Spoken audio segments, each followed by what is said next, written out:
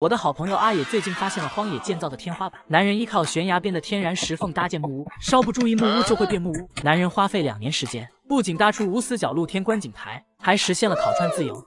阿强因为忘记情人节被老婆赶出家门，他和狗子只好来到野区。这个天然石缝就很不错。虽然空间狭小，但足够隐蔽，老婆绝对找不到。说干就干，阿强对石缝进行改造。首先要清理内部空间，铲掉落叶和多余的泥土。阿强只是随意挥舞铲子，就闪现楼梯，在悬崖边爬上爬下，属实有点危险。为了自己的小命着想。阿强打算给楼梯修个护栏。他从野区搬来原木，咔嚓掉多余的部分，修出凹槽，再用钉子和地上的小木桩完美结合。阿强熟练的把原木一分为二，铺在地上做防滑地垫，这样就算是下雨天也不会摔得狗吃屎。身为基建狂魔的阿强，还修出一条乡间小道，专门通往他的小别墅。紧接着，他在两边的石头上都敲出凹槽，中间卡入木棍当支架，另外一侧复制粘贴。他顺便展示强壮的肌肉，在两根木棍中间绑上从家里顺来的窗帘。简易的吊床就制作完成了。阿强一觉睡到第二天，撸起袖子接着干。昨天睡觉感觉冷飕飕，原来是没有墙壁两面漏风。阿强找来粗壮的原木抵住将要滚落的巨石，然后在石块上修出凹槽，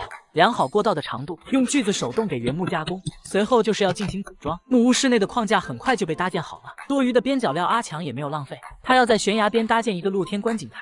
阿强是会享受生活的，他给观景台铺好地板，牢记生命诚可贵的真理。阿强给周围都钉上栏杆，在这里工作的心情就很哇塞。他又找来小木桩，哐哐几下就给自己安排了一个板凳，现在可以安心的摸鱼了。要强的阿强不想再睡简陋的吊床，他用凿子和锤子在石壁上掏出窟窿，用木棍搭出床架，紧接着放上木板，最后只需要一顿敲敲打打。床铺不算大，但足够他自由翻转。闲不住的阿强又开始完善墙壁，他在缝隙中塞入原木，要的就是严丝合缝的感觉。阿强三两下又用木板敲出一扇木门，给他们装上荷叶，固定在墙上。门锁可不能忘记，后门的操作也是如法炮制，不给老婆闯进来的机会。小别墅的框架初见雏形，要想知道阿强的别墅建的怎么样，快去关注我的好朋友阿野改造吧。